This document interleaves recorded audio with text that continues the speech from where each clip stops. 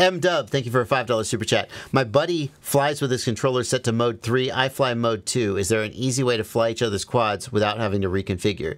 Yeah, um, what you do is you kick your buddy in the nuts while he's flying. And then when he falls over, grab his controller, reconfigure it to mode 2, put it back in his hands, and say, do it right. Done. Problem solved. Um, uh, you don't have to reconfigure Betaflight. All you would have to do. How would I do this in real life? I think if you just go into radio setup and change the control mode, it will make that change. Let's find out. Let's find out. Yeah. Let's- You could also do it like in a model if you swap the channels. but it's a radio. It's it's not the channel order. So the radio. The ra- By the way, uh, you like my legs? You like my shorts? Yeah. Check check these out. You know you're classy if you got suede Crocs. Suck it, Europeans! You got suede Crocs over there? Uh-uh. You don't have suede Crocs. You may have your teeth all in your mouth because you have dental care. You ain't got no suede Crocs though. Marka. Um, so you've got the physical controls of the gimbals, and those are mapped to the control inputs. And I think we're going to find out right now that if I just make that change, you're going to learn something. So first thing I'm going to do is I'm going to go. You can't see this because the camera is there. I could set the. Hang on. Hang on. Give me one second. I can do this. I can do this. I have the power. Let me turn that on. Then we go to overhead cam. Boom! It's almost like I'm a professional at this.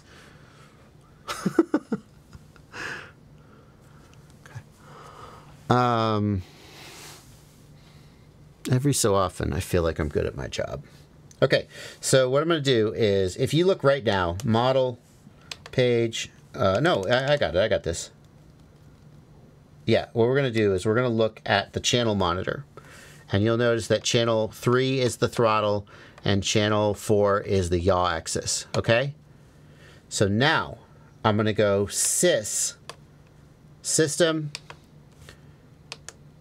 radio setup, and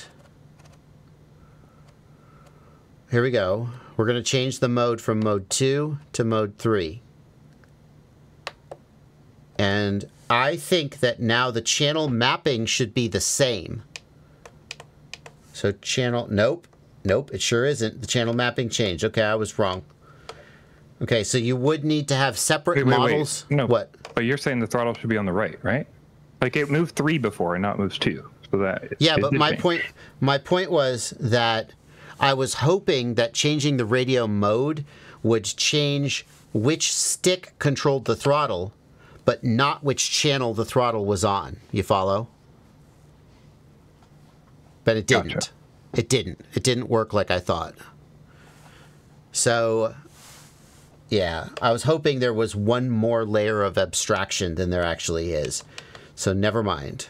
Uh, first, let's put my radio back to the sane mode. So what you would have to do is you would have to create a second model with the channels remapped to a different order. Or you would just have to bind his quad to your radio. There's various ways to do it. But I, I, I stand by my first my first recommendation. Oops, that's not right. Which is convince your buddy to fly mode two like a freaking normal person.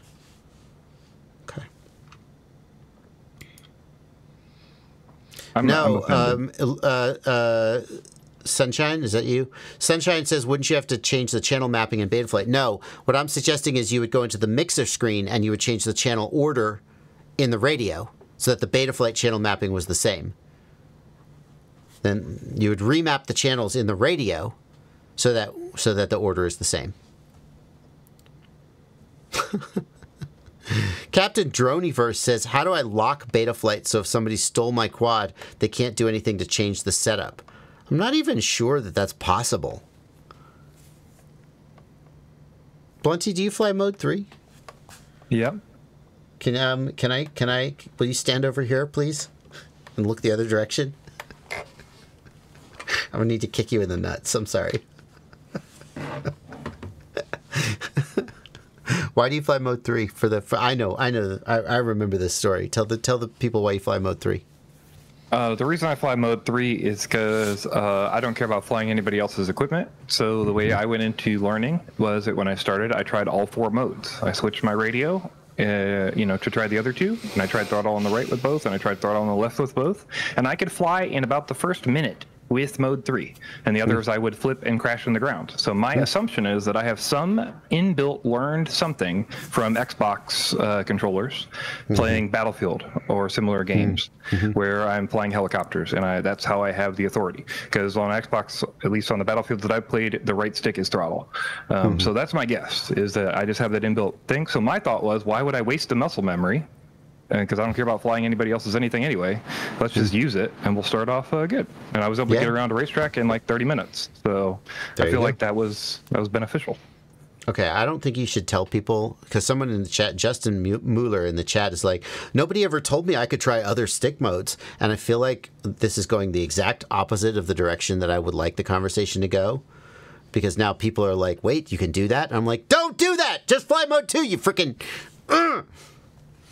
Just to be clear, at least the historical thing has always been that US is mode two and UK uh, is mode one. But I don't know if that's still That- the case. I think it's Australia, isn't it? That's mode one. Oh, I thought is it was like also Europe. UK? I don't know. Okay. European people tell us the truth.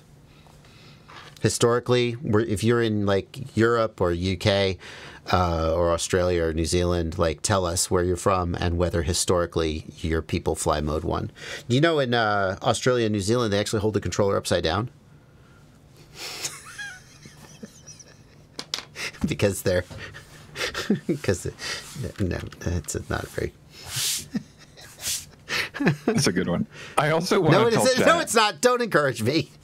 I also want to tell chat um, if you're already flying, like if you're here and you've flown in the sim for a couple hours, I would not switch. Don't switch. yeah. Uh, and that's because you've already gotten past the point, I think, of where you've started to unlearn that previous muscle memory. Now, maybe it's worth a try anyway. I mean, you could do what you want, it's your life. But I would say if you're a couple hours in, unless you're just crashing the ground every time you take off, I would just go with where you're at. Yeah, try mode two. I would say try mode two. Give it a few hours, and if it's just really not clicking for you, maybe a different mode. But there's a I huge advantage to flying in mode one. two. Okay, if Well- you if you really want to fly with other people and stuff, then I agree. But I think there's a lot of people like me who don't give a like- shit about somebody else grabbing my radio. I, I don't care. I could care it's, less it's about more any of that. It's more than that. though. It's more than that. I'm going to argue a little bit, even though I respect your opinion. Uh, I'm going to argue. For, uh, it's like it'd be like saying uh, I'm going to drive in the United States, but I'm going to buy a car with right-hand drive. I don't care about driving anybody else's car. I'm only going to drive my own car, but I'm going to buy a right-hand drive car. And the thing is, like, it's not okay. So, like that, the roads are set up for left-hand drive, etc. It's not a perfect analogy, but the point is, not only are you locking yourself out of flying anybody else's gear, but also, like, if I go to take a, a class, right? If I'm looking at a stick overlay for a trick tutorial, if I fly mode 3 and I look at a mode 2 stick overlay, I'm not going to innately and intuitively understand what the sticks are doing. I don't know. I mean, it's, I'm gonna be like, oh wait, where's the throttle? Oh, I see. You know, and if, if I go take a lesson, if I'm trying to learn how to race, and the guy's like, you know, so like I feel like there's more to it than just I don't care about flying other people's drones. I think it's a little deep, what bigger than that. I'll say I have not encountered any of those issues. Well, you're actually living it, so I guess uh, that carries some weight.